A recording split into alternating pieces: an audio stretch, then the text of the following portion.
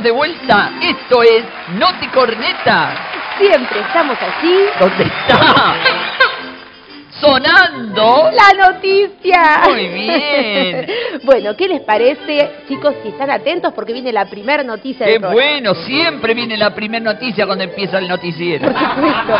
Le dieron unos billetes de 100 dólares falsos a unos comerciantes chinos y le agarró a este chino la locura del semáforo. Claro, pobre chino, cuando vio los verdes, su cara amarilla se puso roja. Solo el chino. Vamos a la segunda noticia.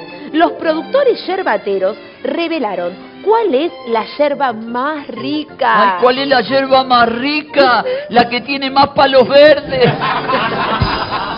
Adelante. No, yo diría que vayamos ahora al servicio meteorológico. Vamos, claro, allá me está haciendo señas. Vamos a verlo. Hola, hola, hola a todos. ¿Cómo les va? Soy Melissa. Estamos en el servicio meteorológico para comentar cómo está el clima. El cielo está repleto de tenedores, de cucharas y de cuchillos. ¿Saben por qué? Porque está cubierto. Sí, muy pronto va a llover. Así que si tienen que salir, salgan con una olla grande que tenga tres cubitos de caldo adentro, porque ustedes van a quedar hechos sopa. Y si el techo de su casa está roto y por ahí caen algunas gotitas de agua, pongan una olla grande debajo, así van a tener tres cosas como mínimo. Una, música. Clic, clic, clic, clic. ¿Miren qué linda? Otra, van a tener agua para lavarse la cabeza. Y otra, van a tener agua para hacerse un rico puchero. Sí, genial. Y si van a salir, también lleven un paraguas. Porque si no, se empapan y van a tener que escurrirlos a ustedes así y colgarlos en la soga. Volvimos. Volvimos, por supuesto. Vamos a escuchar la próxima noticia. Echaron a varios empleados administrativos de la Asociación Argentina de Básquet. Claro, porque no, no invocaban los papeles en el cesto. Ay. Seguimos. El Ministerio de Educación tomó una medida para que los alumnos ya no lleguen tarde a clase. Claro, ¿qué iban a hacer ahora? Sacar todos los carteles que dicen despacio escuela. Llegaban todos tarde. Qué tremendo, no hay que llegar tarde, chicos.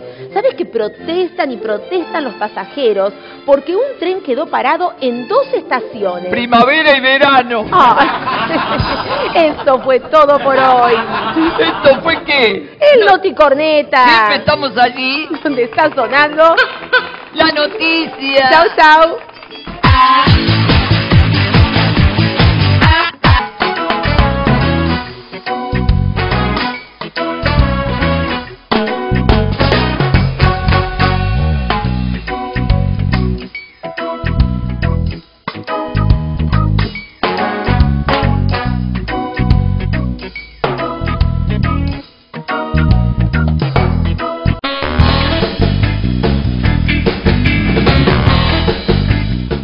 Bueno, y saben una cosa que me quedó en el tintero, otra curiosidad acerca de las hormigas.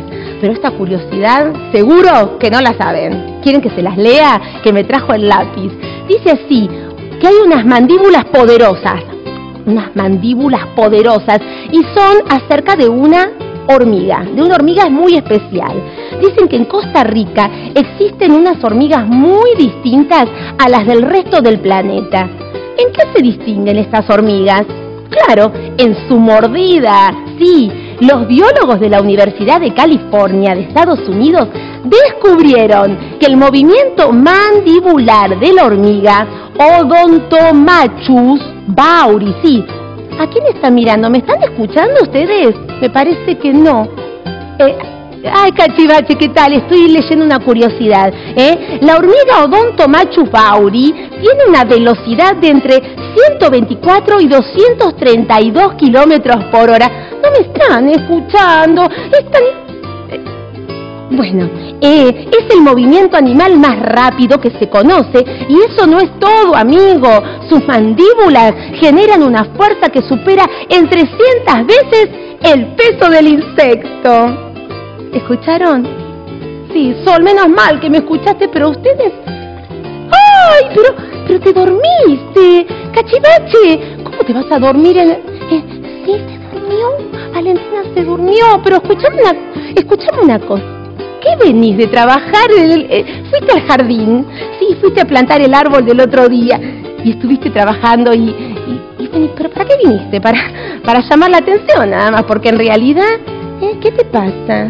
No me distraigas a los chicos porque es el público que yo contrato todos los días para que vengan.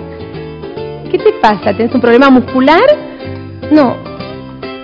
Ah, no me digas que te entró una hormiga en el hombro. Eh, bueno, cachivache, anda a rascarte en otro lado, porque... ¿Qué te pasa? ¿Qué te- Pero quédate quietito, quietito. Varias hormigas te entraron, me parece que va... Tranquilo, tranquilo, pero... ¡Ay, qué te pasa! ¡Qué papelón! ¿Qué estás haciendo? ¡Ay, por favor! Eh, cachivache, tranquilo. Le entró un hormiguero, me parece. me parece que de esta manera cortamos, cortamos y seguimos en el bloque. Eh, tranquilo que me vas a... eh, por favor, cortemos, cortemos. Gracias, chicos.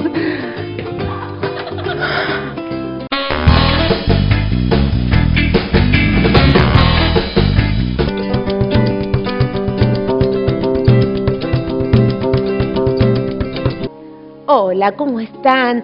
Nos hicimos un lugarcito para venir, más que un lugarcito, un tiempito, para venir a la boutique de Tito. Sí, acá en este programa todo rima. ¿Cómo estás, Tito? Muy bien, estoy nuevamente contigo y con todos los niños que están ahí en su casita. ¿Cómo estás? Muy bien. Me gusta siempre tus manos tocarlas porque son calentitas, ¿eh? Mirá qué lindas y suaves, suaves como vos sos también. Decime una cosa, eh, ¿qué consejo le trajiste hoy a los nenes? Porque ellos están esperando tus consejos, ¿eh? A ver, ya sabe, el consejo es de las hormiguitas, Karina. ¿Cuántos niñitos hay en casita? A ver, una hormiguita, dos hormiguitas, tres hormiguitas. Uy, cinco hormiguitas estoy viendo en una casa, Karina. Así que las hormiguitas vamos a ayudar a mamá y a papá Mm. como hormiguitas, ¿verdad? Claro que sí, porque hay muchos chicos que lo único que hacen es estar sentados o tirados en una cama mirando la tele y no está bien. ¿Qué decís vos? No, no, no está bien. Hay que trabajar como las hormigas. Levantar los zapatos, barrer, eh, levantar los juguetes, guardarlos para que papá no, no se resbale. ¿No es verdad, Karina? Claro. Es cierto que siempre hay cosas tiradas en el piso y uno viene distraído, plum, se cae y qué problema, ¿no? Así ¿Eh? es, así bueno, es. así que hay que colaborar en casa, hay que también ayudar en el colegio a los amigos que lo están necesitando. Eh, ¿Cuántas cosas que tenemos para hacer eh? en nuestro barrio? Levantar los papeles que están en el piso. ¿Cuántas cosas, no? Claro que se- tampoco no solamente los niñitos, sino los grandes también hay que trabajar como las hormigas, a papá, mamá y a todos. Y vamos a hacer muy, pero muy mejor, como las hormigas, ¿verdad, Karina? Claro que sí. Seguí el ejemplo de la hormiga y el de Tito también. Chau, chau. Chao, chao.